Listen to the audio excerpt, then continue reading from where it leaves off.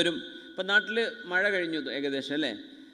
മഴ തുടങ്ങിയാൽ കാണാം ഒരുപാട് മണ്ണിൽ നിന്നുണ്ടാകുന്ന അട്ടകളും പുഴുക്കളൊക്കെ ഉണ്ടാവും അല്ലേ?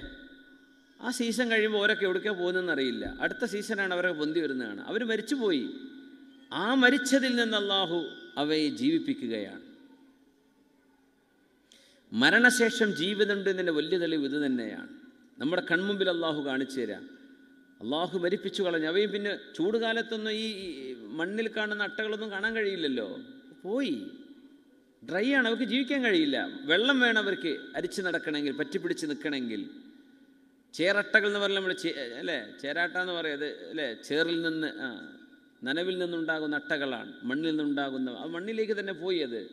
പിന്നെ തിരിച്ചു വരികയാണ്. ഒരു കുളം വറ്റിക്കഴിഞ്ഞാൽ കുളം വറ്റിച്ച് കളഞ്ഞ് നാച്ചുറൽ കുളം സ്വിമ്മിംഗ് പൂളല്ലേ മണ്ണുള്ള കുളം. അതിൽ പിന്നെ വെള്ളം വന്ന് രണ്ടാഴ്ച ആകുമ്പോഴേക്കും കൊച്ചു കൊച്ചു മത്സ്യങ്ങൾ അതിലിങ്ങനെ ഓടുന്നത് കാണാം.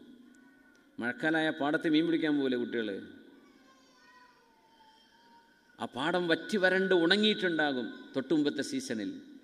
പക്ഷേ മഴ പെയ്തവിടേക്ക് വെള്ളം എത്തിക്കഴിഞ്ഞു അടുത്തൊന്നും പുഴകളില്ല എന്ന് സങ്കല്പിക്കുക. എന്നാലും പാടത്ത് മീൻ കിട്ടും.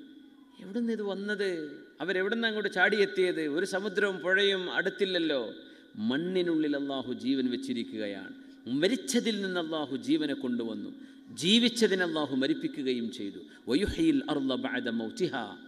മരിച്ചു കഴിയുന്ന ഭൂമിയെ ഉണങ്ങിക്കഴിയുന്ന ഭൂമിയെ അള്ളാഹു ചാല ഉണർത്തുകയാണ്. ഒരു സീസൺ വരുമ്പോൾ ഒരു മഴ പെയ്യിക്കുന്നതോടുകൂടെ നമ്മുടെ മരുഭൂമി വലിയ അത്ഭുതമാണ്. നിങ്ങൾ ഇവിടെ നിന്ന് അല്ലയിലേക്കോ അല്ലെങ്കിൽ ദുബൈയിലേക്കോ എവിടേക്കെങ്കിലും മരുഭൂമി രണ്ട് സൈഡിലും കാണുമ്പോൾ ഉണങ്ങി ഒരു പച്ചപ്പില്ലാത്തൊരു സ്ഥലത്ത് നിങ്ങൾക്ക് മനോഹരമായ ചെടികൾ ഇങ്ങനെ മുളച്ചത് കാണാൻ കഴിയും. സുഹാനല്ല ഒരു ചെറിയ മഴ പെയ്ത് കഴിഞ്ഞാൽ സ്നോ പെയ്യാൻ തുടങ്ങിയാൽ സുഹാന ജല്ല ജലാലു. അള്ളാഹു പറയാ ഇതൊക്കെ ഞാൻ ചെയ്യുന്നില്ലേ?